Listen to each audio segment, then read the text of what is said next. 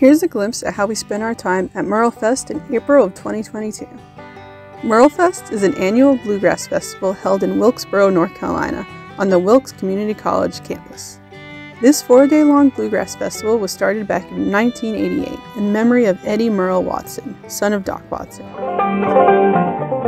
Doc's regular musical partner is his son Merle, named after Merle Travis, the country musician who wrote 16 Tons.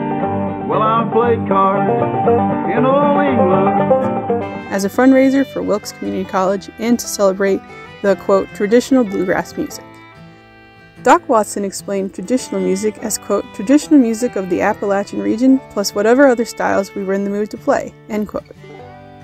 Nowadays, you'll hear a wide variety of music as you bounce around the 12 stages. The river takes the town.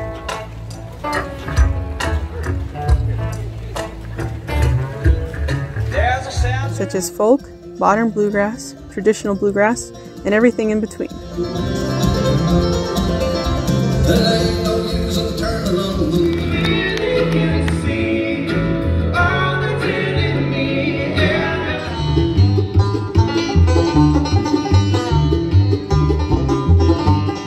Music is played starting early in the morning till late into the night each day of the festival, with multiple bands playing every hour.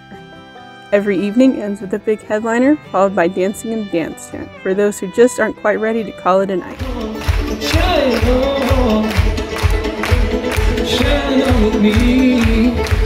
Check in on the daily progress of the Merlefest themed sand sculpture as it's sculpted live, or take a tour of the campus garden and visit the Merlefest Museum. Sunday morning showcases gospel songs and morning devotion. You can even learn some shape note singing by participating in the Shape Note Singing Workshop. Let's go there, do, mi, so. Sing it like Baptist. Sing. So. Merlefest is an event full of tradition, bluegrass lovers, and dancing.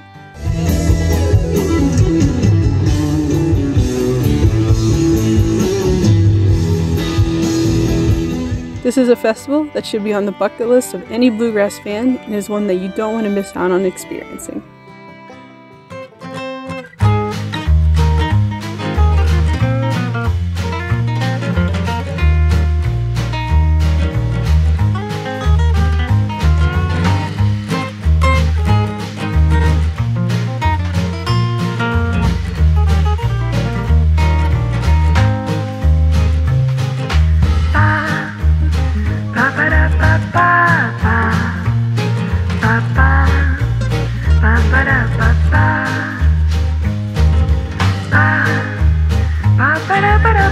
bye.